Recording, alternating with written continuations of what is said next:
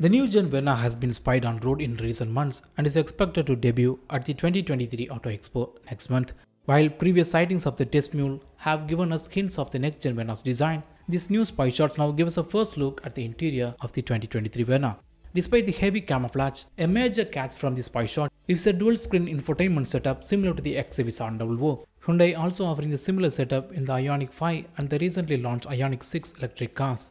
Even though sleek aircon vents below the infotainment system look similar to the Ioniq range, and the overall dashboard design will have an inspiration from the Elantra and Sonata range. Current gen Verna offers 8-inch infotainment setup, while this upcoming facelift might accommodate 10-inch infotainment screen with more connectivity options. Apart from these new tech updates, the new Verna might gain slightly more legroom for the rear passengers.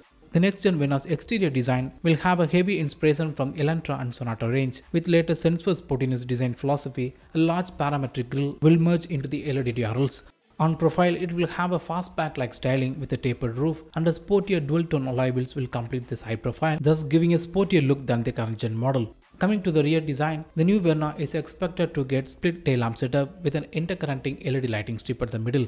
The next gen Verna will be the first Hyundai model to offer ADAS feature in the sub 20 lakh category, offering lane departure warning, lane keep assist, adaptive cruise control, forward collision mitigation and more. Even in this particular picture, the ADAS model can be seen below the front license plate, thus confirming its availability.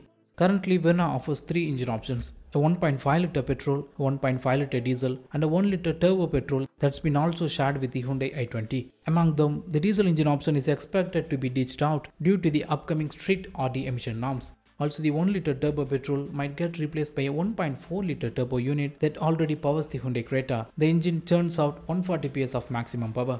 Will get mated to the same set of 6-speed manual, 7-speed DCT or IEPT options. See you soon with more updates. Thanks for watching.